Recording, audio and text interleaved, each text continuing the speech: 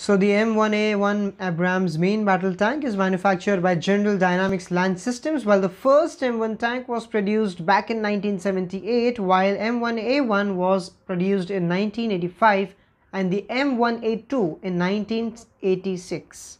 Now the main armament of the tank is the 120mm M256 smoothbore gun which can fire the ammunitions like M865 TPC SDST and M831 TPT training rounds along with the M8300 Heat MPT and the M829 APF SDST that includes a depleted uranium penetrator. Apart from this, the Textron Systems provides the Cadillac Gage gun turret drive stabilization system. The commander has a 12.7mm Browning M2 machine gun and the loader has a 7.62mm M240 machine gun, while a 7.62mm M240 machine gun is also mounted coaxially on the right hand side of the main armament. The M1A1 has an improved armor protection comparing with its predecessors. The front turret and hull armor of the M1A1 features advanced composite armor reinforced with depleted uranium mesh for better protection. Like in the previous version, ammunition is stored in the turret bustle with blowout panels for better survivability and crew protection. Interior is lined with Kevlar for protection against spalling.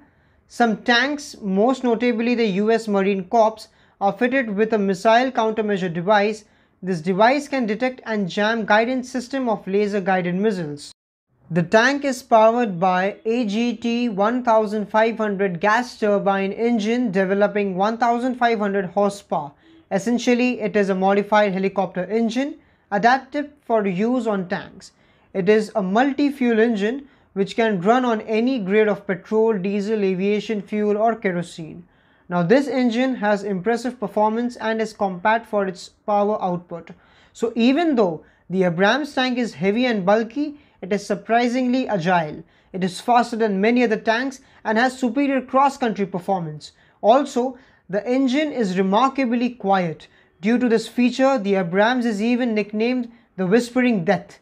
Its gas turbine engine has servicing intervals significantly longer than those of diesel engines. However, is troublesome to maintain and has high fuel consumption comparing with diesels. Engines can be replaced in field condition within 30 minutes. Chassis and transmission of the M1A1 was improved to cope with increased tank's weight. The main battle tank can be equipped with mine plow or mine rollers as well.